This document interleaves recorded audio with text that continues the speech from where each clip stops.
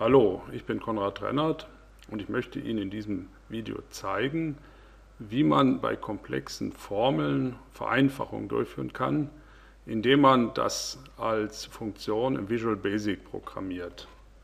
Sie sehen ja hier, wie monströs das aussieht. Da sind vier verschiedene Funktionen in dieser Formel enthalten.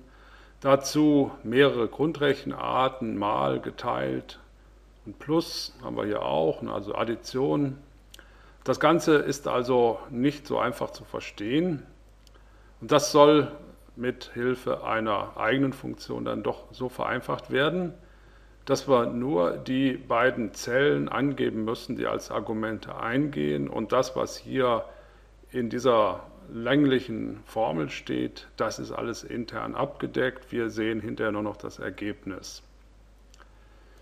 Ich will aber hier natürlich nicht vorher ganze, das ganze Makroprogrammieren erklären oder das Funktionsprogrammieren. Das ist von Microsoft schon gemacht worden. Auch die Vorgeschichte zu dieser Formel, die will ich mir ersparen. Die können Sie sich komplett anhören, indem Sie sich einfach hier diese, diesen Link hier anschauen. Äh, das ist ein YouTube-Video und da erkläre ich dann, wie das hier oben zustande gekommen ist. Das dauert allerdings dann so circa zwölf Minuten. Und wie man Makros aufzeichnet, das ist bei Microsoft in der Hilfe gut beschrieben. Dann kann man sich diesen Link hier anschauen. Sehen Sie also als erstes dann diese Stelle und da steht Erstellen und Löschen eines Makros und viele andere Unterpunkte. Da sind zum Teil Videos bei oder gut beschriebene äh, Seiten mit vielen Bildern, die das dann doch transparent machen. Allerdings, wer nur ein paar Minuten Zeit hat und hat vorher noch nie was von Programmierung gehört, der kann sich das schenken, der kann sich auch dieses ganze Video hier schenken. Was noch empfehlenswert ist, wenn auch noch zu einer älteren Excel-Version gehörig, ist das Video von Bernd Held. Da erklärt er also die Umgebung, die man nutzt, wenn man in Excel mit Visual Basic programmiert. Das ist also sehr gut und übersichtlich dargestellt. Schauen wir uns nochmal die Formel an. Wo wird da der Name, den ich jetzt vergeben werde, eingehen? C4 das ist diese blaue Zelle, blau eingerahmt. Die soll heißen Uhrzeit des Kommens. Daneben, das brauche ich dann für eine andere Formel, das wird dann heißen Uhrzeit des Gehens. Und diese hier, die soll heißen Zeittakt in Minuten. Fangen wir gleich, weil wir schon hier oben stehen, damit an. Ich habe die Zelle ausgewählt, gehe hier, wo noch G1 steht, hin und schreibe Zeittakt in Minuten. Und dann drücke ich die Enter-Taste und schon ist dieser Bereichsnamen für diese eine Zelle vergeben. Hier gehe ich hin auf die Zelle C4 und schreibe hin Uhrzeit des Kommens. Tätige auch die Eingabetaste. Gehe dann auf die Zelle D4, die wird dann später bei der anderen Formel gebraucht. Uhrzeit des Gehens. Und da betätige ich auch die Eingabetaste. Wenn ich jetzt hier irgendwo stehe und gehe auf diese Stelle, dann sehen wir, da tauchen also diese drei Bereichsnamen auf und die muss ich jetzt in der Formel oder in den Formeln hier unterbringen. Hier stehen die ja noch nicht drin, hier stehen noch die Zelladressen als G1 oder C4 oder D4 oder was auch immer denn da an diesen Zellen eingeht. Für die Formel mit der einfacheren G-Zeit, da will ich jetzt die Ersetzung der Zelladressen durch die eben vergebenen Bereichsnamen als erstes vornehmen. Die Zelle D4, das soll die, die Uhrzeit des Gehens sein. Ich lösche D4 raus, schreibe da erstmal ein U hin. Sie sehen, hier wird in der Liste schon vorgeschlagen die Uhrzeit des Gehens und die andere Zelle, Zellangabe D4 muss ich hier auch noch ersetzen. Ich habe ja wieder ein U eingegeben und klicke dann auf Uhrzeit des Gehens. Die grünen Argumente, die muss ich auch noch austauschen. Das ist ja hier der Zeittakt in Minuten. Lösche ich also raus schreibe über die Tastatur ein Z und wähle dann mit einem doppelten Klick auf Zeittakt in Minuten den entsprechenden Bereichsnamen aus. Und das ist hier natürlich auch nochmal der Fall. So, jetzt sehen Sie, dass also die Zelladressen durch Bereichsnamen ersetzt wurden. Das wäre für das Ergebnis unerheblich, aber für die Interpretation der Aufzeichnung, die ich dann in Bälde vornehmen will, ist das sehr wichtig. Das mache ich jetzt auch noch hier für die Kommt-Zeit. Da sehen Sie, da habe ich also hier jetzt an vier Stellen etwas Blaues, also wo C4 ersetzt werden soll durch die Uhrzeit des Kommens.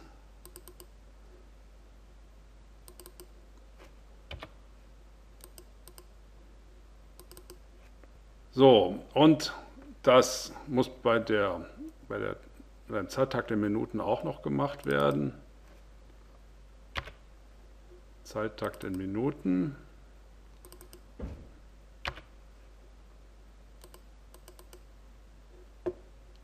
Das ist richtig viel Arbeit.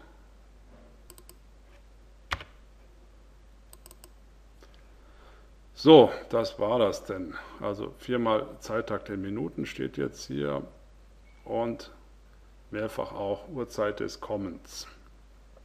Sie sehen, die Farbe Blau und Grün, die blieb erhalten. Die vorbereitenden Maßnahmen sind jetzt abgeschlossen. Es gibt Bereichsnamen und jetzt kann ich diese mit der Funktion, die ich ja auch schon fertig habe, verwenden und zeige Ihnen also jetzt den Trick, wie ich zu meiner Funktion komme, die ich selbst definiert habe. Damit das etwas verständlicher wird, nehme ich jetzt nicht die Kommt-Zeit, sondern die Geht-Zeit. Da brauche ich keine Fallunterscheidung, aber im Prinzip ist dort das Gleiche zu sehen, nur eben in einer einfacheren Form. Und jetzt will ich das aufzeichnen, was ich dann verwenden könnte. Das geschieht über das Register Entwickler Tools. Und da haben wir hier vorne die Befehlsgruppe Code und da steht auch Makro aufzeichnen.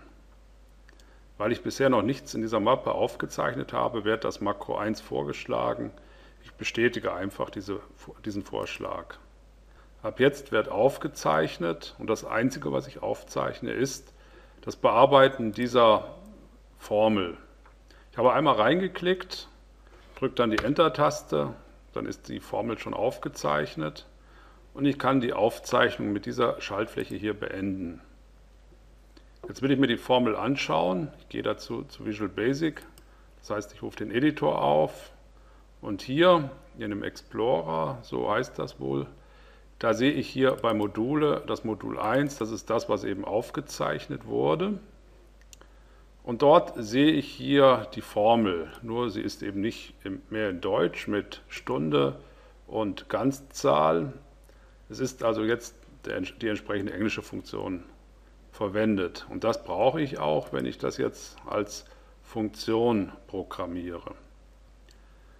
Um das zu tun, gehe ich zum, zur, zum Register Einfügen und wähle dort Prozedur. Und da gibt es auch den Typ Function oder Funktion. Function wähle ich und das soll dann heißen Geht-Zeit, so heißt die Funktion. Geht-Zeit. Dann klicke ich hier auf OK und wir sehen, Anfang und Ende stehen schon da. Und jetzt brauche ich nur noch die Funktion und die kann ich also von hier übernehmen. Alles, was hier nach dem Gleichheitszeichen ist, das kopiere ich. Und gehe dann hier an die Stelle, rücke das ein bisschen ein und schreibe dahin geht Zeit. Und dann, dann füge ich das einfach ein, was ich eben kopiert habe. Und gehe eine Zeile tiefer. Es ist schon fast fertig. Was noch fehlt, das sind die übergebenen Werte. Damit ich hier die Parameter nicht falsch schreibe, da kopiere ich mir einfach die beiden Angaben von hier, kopiere mir die und füge die hier ein. und korrigiere das so ein bisschen. Hier müssen einfach nur Aufzählungen stehen. Das heißt, zwischen den beiden Parameterwerten steht ein Komma, wird also die Uhrzeit des Gehens wird übergeben und Zeittakt in Minuten. Damit ist die Funktion fertig. Das heißt, hier ist ja beschrieben, wie sie heißt, die Funktion und welche Parameter übergeben werden. Darunter kommt die eigentliche Formel und das hier ist einfach nur das Ende der Funktion. Das, was ich hier oben als Makro aufgezeichnet habe, das war ja nur eine Hilfe, damit ich also hier diese Zeile übernehmen kann. Ich kann das jetzt einfach löschen, das habe ich auch gerade getan. Es bleibt noch der Test durchzuführen. Ich kann also jetzt den Editor schließen, hier an der Stelle, rechts oben, und setze jetzt ein. Und zwar finde ich jetzt die, die selbst definierte Funktion unter Benutzer definiert. Und da steht Gehzeit. Und das, was da übergeben wird, ist zum einen die Zeit des Gehens, die Uhrzeit des Gehens und zum anderen der Takt.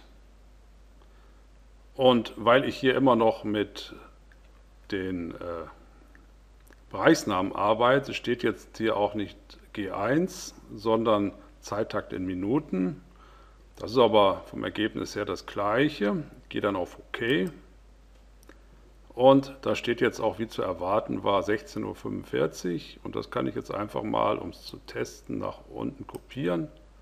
Und wir sehen, hier sind jetzt die Zeittakte auch richtig berechnet unter der Maßgabe, dass da oben 15 steht. Und wenn ich da eine 5 rausmache, dann sehen wir, werden die auch sofort neu berechnet.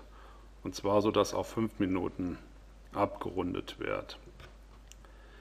Jetzt wollen wir noch sehen, was das insgesamt für einen Vorteil bringt. Das kann man sehen, wenn man bei Formeln, wenn man bei Formel auf Formelanzeigen klickt. Wenn man das hier vergleicht, ich mache das mal ein bisschen breiter, dann sieht man schon hier von der Länge her ist das ein großer Unterschied. Hier sieht man die Gehzeit als Formel und hier sieht man, wie das durch die Programmierung geworden ist. Die Funktion Gehzeit, da werden nur noch die beiden Zellen übergeben und das macht die Sache dann doch erheblich einfacher. Nachdem jetzt gezeigt ist, wie aus dieser Formel dann eine Funktion, die leichter zu handhaben ist, abgeleitet wurde, will ich es auch noch zeigen, wie es mit dieser Kommt-Zeit geht. Da spielt ja noch die Wenn-Funktion eine Rolle. Das heißt, da wird dann auch gleich im Englischen die if-Anweisung auftauchen. Diese Herausforderung will ich nochmal versuchen. Um das aufzuzeichnen, gehe ich wieder zu den Entwicklertools und wähle dort Makro aufzeichnen. Hier wird Makro 1 vorgeschlagen. Ich hatte eben die Arbeitsmappe geschlossen und neu geöffnet, deswegen, deshalb wird also jetzt wieder mit der Zählung bei 1 angefangen, kann ich auch so übernehmen. Das alte Makro 1 war ja auch gelöscht, klicke dann auf OK. Und jetzt muss ich nur noch diese Formel editieren, das heißt, ich klicke da rein. Im Moment wird die Aufzeichnung auch diese Formel enthalten. Und dann beende ich, nachdem ich die Enter-Taste gedrückt habe, die Makroaufzeichnung und kann mich dann gleich zur Bearbeitung begeben. Dieses, was ich hier gerade aufgezeichnet habe, das ist das Modul 2 und da steht das Makro 1 drin und da gehe ich jetzt genauso vor wie eben. Ich wähle bei Einfügen hier die Prozedur und da nehme ich hier die Funktionsprozedur, Function, und da schreibe ich dann als Name hin, kommt Zeit und klicke auf OK. So, jetzt soll das Ganze noch fertiggestellt werden ab dem if bis hinten zur Klammer zu. Das ist das, was ich übernehmen will. Ich kopiere das und schreibe das hier, indem ich das ein bisschen einrücke, hinter die Kommt-Zeit. Also Kommt-Zeit ist ja das, was zurückgegeben werden soll. Und da schreibe ich Gleichheitszeichen und dann füge ich das ein. Und das bedarf aber jetzt noch der Nachbearbeitung. Wir sehen, dass diese Zeile hier rot geschrieben ist. Das liegt daran, dass diese Funktion if, so wie sie hier steht, in Visual Basic nicht funktioniert. Da gibt es zwei Möglichkeiten. Entweder mache ich daraus ein if, then, else oder ich mache daraus die implizite if-Anweisung. Das heißt, ich schreibe einfach noch ein i davor und dann wird das so behandelt, als ob ich ein if, then, else verwendet hätte. Das will ich jetzt nicht weiter erklären. Sie haben ja gesehen, ich habe da nur ein i hingeschrieben. Das, was noch fehlt, damit ich das testen kann, was ich da zusammengebraut habe, ist zum einen die Uhrzeit des Kommens, die übergeben werden muss. Die muss ich hier reinschreiben. Ich kopiere das jetzt einzeln, mache da ein Komma hin. Und da muss ich noch den, da fehlt noch was, ja okay.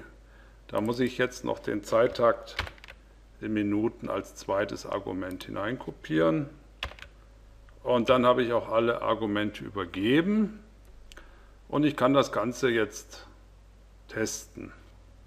Das heißt, ich könnte das jetzt auch schon löschen, aber man weiß ja nicht, ob es funktioniert, dann kann man sich später nochmal anschauen. Vor allen Dingen im Hinblick auf den Unterschied zwischen dem if, so wie es hier steht, und dem impliziten if, so wie wir es hier haben, da ist es vielleicht später nochmal von Interesse. Schließe auf jeden Fall erstmal den Editor und teste das jetzt hier. Ich wähle die richtige Zelle aus, unter kommt stehe ich ja schon und wähle hier bei den benutzerdefinierten Funktionen die Kommt-Zeit und da muss die Uhrzeit des Kommens angegeben werden, also die Zelle C5 in diesem Fall und der Zeittakt in Minuten der muss auch angegeben werden. Und dann klicke ich auf OK. Und dann steht da 7.50 Uhr, das ist im Augenblick ein 5 Minuten Zeittakt. Und wenn ich da jetzt 15 hinschreibe, dann sehen wir, das wird also neu berechnet, dann ist es jetzt 8 Uhr. Und dann wollen wir das auch mal nach unten kopieren. Und wir sehen, das funktioniert also jetzt auch auffällig. Und der Unterschied, den wir hier haben, der ist frappierend, wenn ich das jetzt noch mal ein bisschen größer mache, da sehen wir hier anderthalb Zeilen Formel und in der Zeile darunter, da ist nur noch das davon übrig geblieben, weil es jetzt diese Visual Basic Funktion Kommt-Zeit gibt. Und das ist natürlich von großem Interesse, wenn man das öfters braucht. Man kann dann auch auf meine ganzen Hilfskonstruktionen verzichten das Einzige, was sein muss, ist, dass diese Funktion entweder in der Arbeitsmappe selbst enthalten ist oder als Bibliothek im Hintergrund steht. Und dann kann man natürlich sehr einfach mit diesen Funktionen die Kommt-Zeit oder die G-Zeit berechnen. Und das ist das, was ich hier zeigen wollte. Ich bedanke mich für Ihre Aufmerksamkeit.